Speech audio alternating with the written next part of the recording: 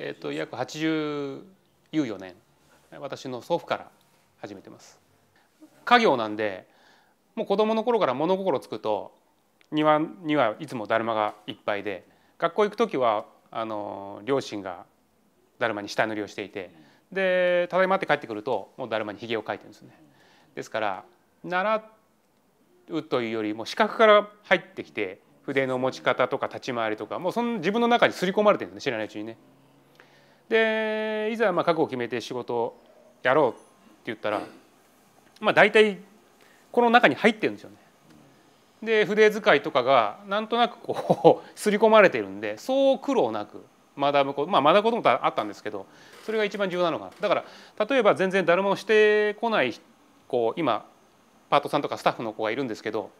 やっぱりできないんですよね当然のことながら。でなんで俺にはできてこの子にはできないのかなっていう。単純に思うんですけどやっぱり自分はそれずっと見てきてるからできるんで、まあ、視覚の部分。でそれやってみるとああ見よう見まねで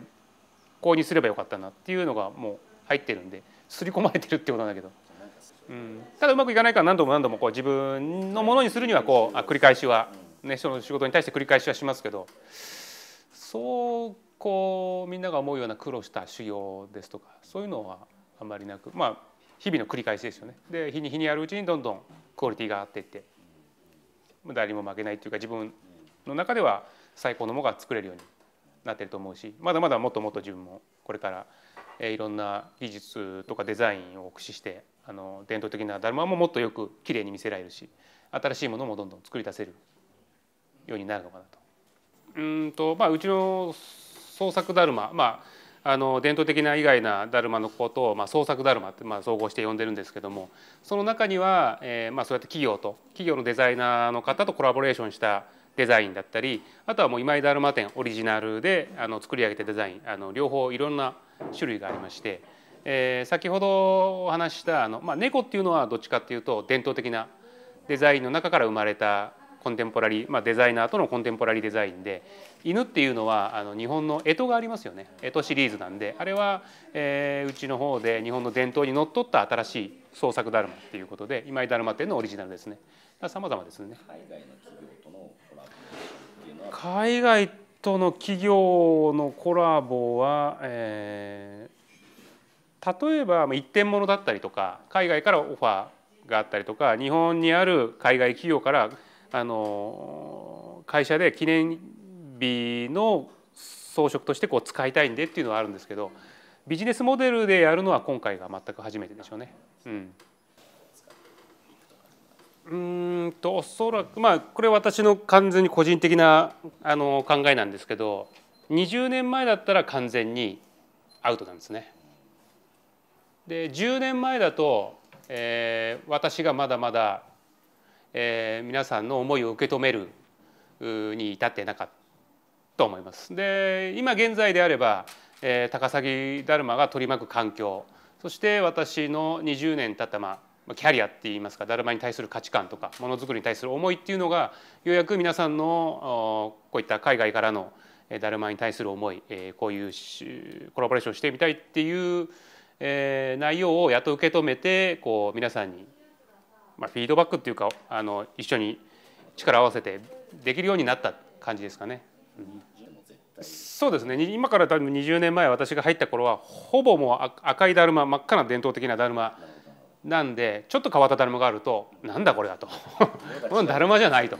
もうすぐそういう意見があの飛び交ってた中であのまあ伝統的なだるまの販売方法とか、えーまあ、あのだるまを売る場所さえ相当こう限定されてたりとか周りの人からもそういう目で見られたり。でもだんだんこう年月が経って、えー、日本の文化としてもこうだるまだんだん日本中で有名になっていて、えー、もっともっとあ赤いものだけじゃなくてこういうものがあった方がいいんじゃないかこういうものもいいねっていう認められるようになってそれがやっぱり重要な年月でここに行き着いてるのかなっていうんですよね。仕事としても、えー、まあいろんなことができるようになったし、えー、だるまとしての理解もいろいろできるようになったんでこれはこれを作れば高崎だるまとしての伝統も、えー、今後の未来も明るいでもこれやっちゃったらちょっとだるまにまずいんじゃないかっていう判断もある程度この20年で自分で決断できるようになったのかな。えっと、実はですね、まあ、高崎だるま伝統的でこう今200年も続いているっていうことであの言ってますけどもちょうど私があのこの家業に入る時には非常にあの伝統的なだるまも衰退してまして、まあ、販売のあの力も減ってるしでだるま業界もあの跡取りがいないとかあの職人の高齢化ということで、えー、伝統的な仕事は衰退している。でそれをまあなんとかしなくちゃならないというかなんか自分の中でこう盛り上げてあげようという気持ちが大きくなって家業に入ったんですけど例えばその阪神が優勝したからあのだるまは脚光を浴びたりとかでデザインとして、えー、黄色いだるまに黒のラインで虎の柄が入ってたり、まあ、それが非常に日本の人にも喜ばれた。何かやっぱり重要なポイントあのデザインだったりそのだるまにまつわるストーリーだったりかそういうものがちゃんとしてればいけるんじゃないかっていうのが大体今から10年ぐらい前で。赤いだけじゃなくてそういうのもやってどんどんこう伝統の良さも広げていった方がいいんじゃないかっていう一筋の道ですね。はい、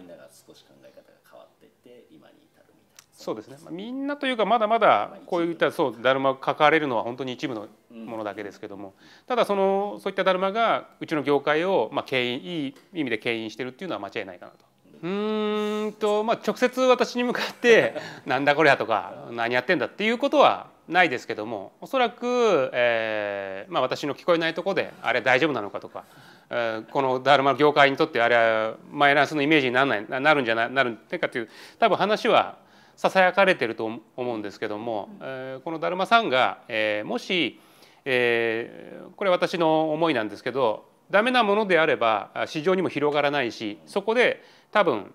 就職していくんですね。世の中に広がらないんです多分。で大丈夫だよ。このだるまいけるんじゃない？伝統も汚さないよっていうんであれば多分どんどん周りが認めてってくれて、えー、そのだるまを好きな人がもっともっと広めてくれるんですね。でそれは何でかっていうと伝統的なだるまがあるからこれがあるんだよっていうちゃんとなんだろうなちゃんとした経緯があって広まっていくと思うんでやっぱり決めるのはあの、まあ、こっちは真剣に作ってるので作り手としてはそれが広まるか広まらないのかは、えー、うちの業界が決めるんじゃなくてそれを手にした人たちだったりとかそのマーラーヨンダルマを見た人が評価して決めてもらえばいいことなんで、まあ、ある程度市場に任せるというか。はいどれですかね うんとえー、まあ今井だるま店のオリジナルとしてはやっぱりデザイナーズだるまですかね。一番今のところ礎になってるのはもううちで公表して10年経ちますし、えーまあ、少なからずとも少しずつ年々、えー、市場は増えてますしででデザイナーズだるまを元にしたアレンジタイプのこう広がりっていうのも出ているので伝統的なだるまももちろん一番人気がありますけども創作だるまの中ではデザイナーズだるまが一番こうコンテンポラリースタンダードっていうんですかね。で赤いだるまはトラディショナルスタンダード。デザイナーズだるまはコンテンポラリースタンダードっていうことでうちのこうツートップじゃないけどやっぱりデザイナーズあのモノトーンのデザイナーズだるまだと思います。あのイメージはあったんですけどあのマーライオンダルマっていうものを作らせてもらうにあたってやっぱりどういうシンガポールの人にとってどういうものなのかとか、えー、まあ実在しないけどもあのシンガポールを象徴するあの架空の動物というか、まあ、シンボルになってるなっていうのはあの身近に感じるようになってますね。まあ、日本でいうこう竜とかね初に近いイメージなのかなっていうところですね。まあ、最初やっぱり戸惑いましたよ。マーライオンとダルマかなんとなくまあ自分の中でこう可愛いのか怖いのかありがたいのか全くわからない状態だったんですけどまあ試作品をもらって黒と白のねモノトーンなんで、まあ、スタイリッシュっていうそこが入ったんで、まあ、ちょうどいいだるまとシンガポールそしてあのまあライオンのちょうど掛け算がの形になったのかなっていう。